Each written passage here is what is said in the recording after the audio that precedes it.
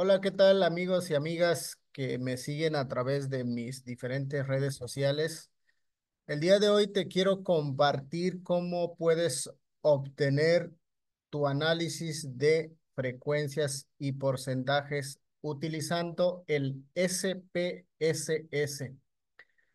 Solo para recordar, en el caso de que tú estés realizando un trabajo de tesis, el objetivo número uno de todo proyecto de investigación es caracterizar a tu población de estudio.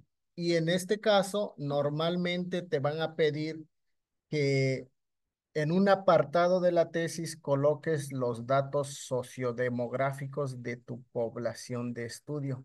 En este caso, va a depender mucho de qué tipo de variables y sobre todo la forma en cómo han sido eh, medidos estas variables eh, para definir los diferentes tipos de análisis que, que podemos realizar. En el caso específico de algunas variables que te piden, normalmente estas van a ser de tipo categóricas.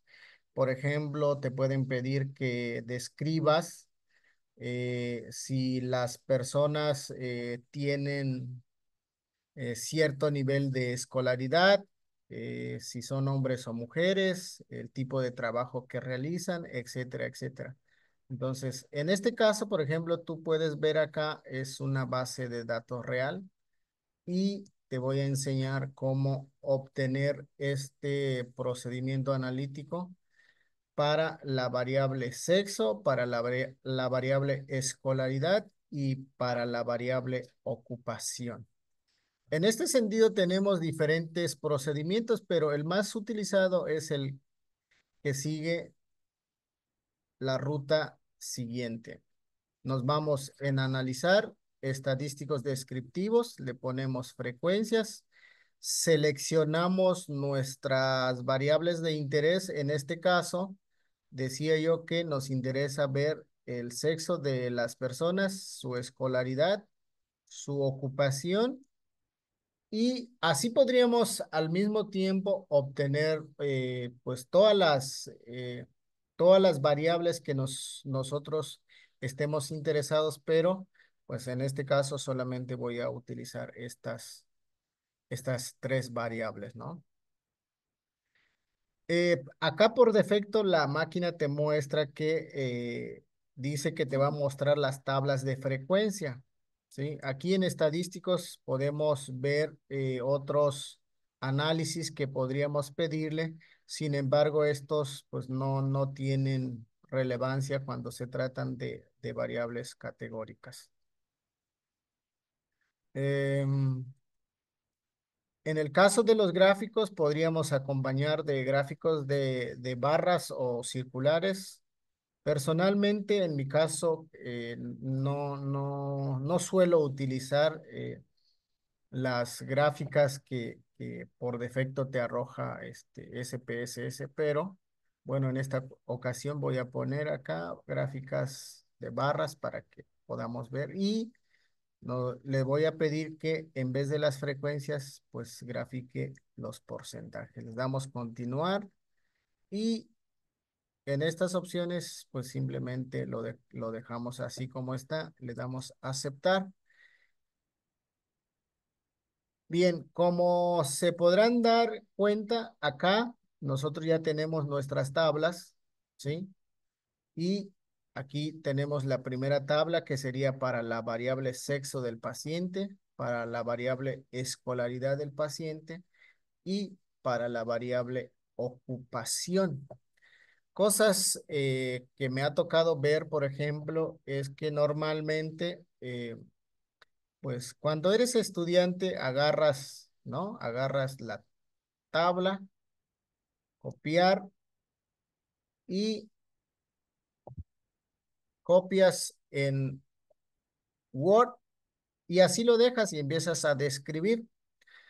Recordar que las universidades normalmente te van a pedir que eh, las tablas los presentes eh, en cualquiera de los formatos. Normalmente las universidades lo que te piden es que utilices el formato de APA. En el caso del formato de APA tiene pues una forma de presentar las tablas y eh, de manera rápida aquí te voy a tratar de, de mostrar cómo se hace. Seleccionas la tabla, vas a diseño de tablas, seleccionas tabla número 6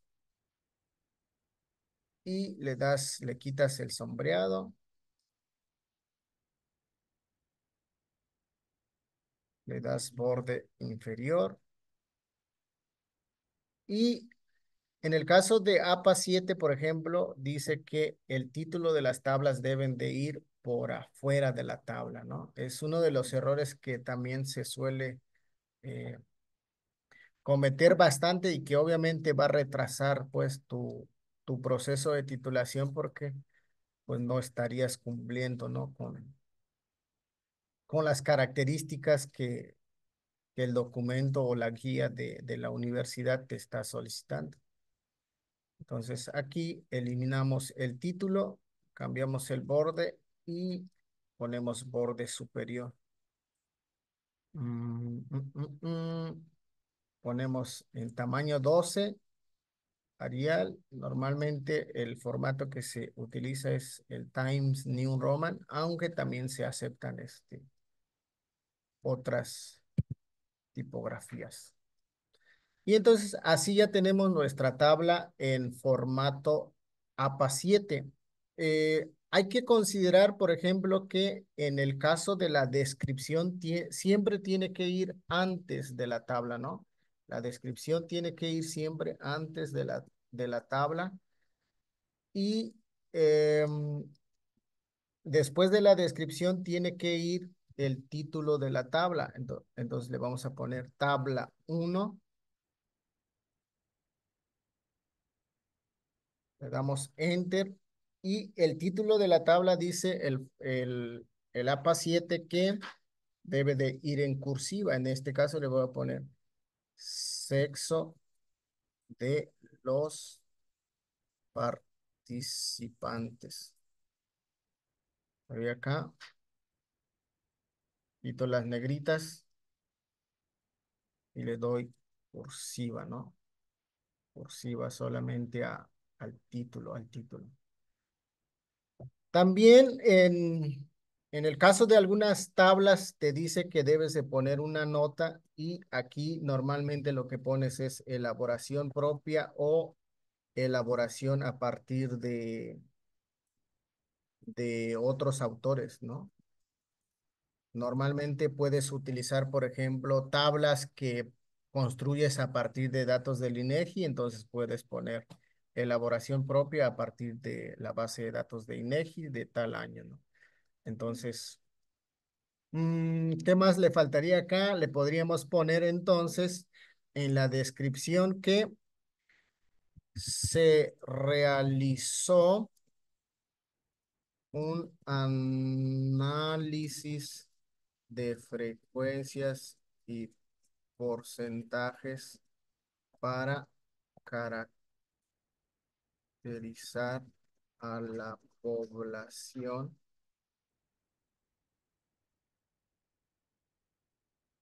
a la, a la muestra, quiero decir, a la muestra y se a la muestra para caracterizar a la muestra por hombres hombres hombres hombres y mujeres y se encontró una mayor participación de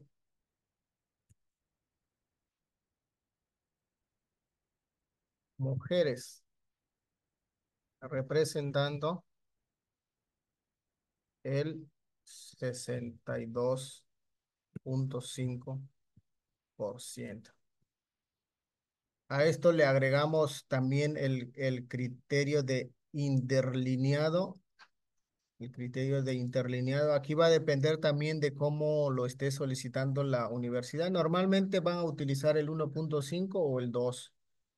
Y eh, pues una vez que revisen, le ponen la sangría.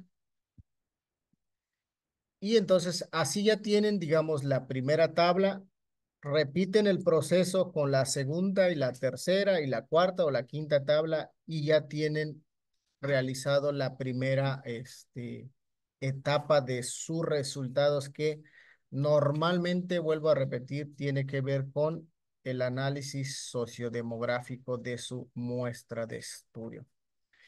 Pues no sé, eh, la idea es que ustedes me dejen sus preguntas, me dejen sus comentarios y eh, trataré siempre en la medida de lo posible responderles igual, pues invitarles a que se, se suscriban, compartan y como lo digo siempre, salven a un tesista. No saben de verdad el tiempo que podemos ahorrar cuanto sabemos lo que tenemos que hacer, en, no solo en, en el procedimiento analítico, sino en el proceso que tiene que ver con el formato. Cuídense mucho y nos saludamos eh, próximamente.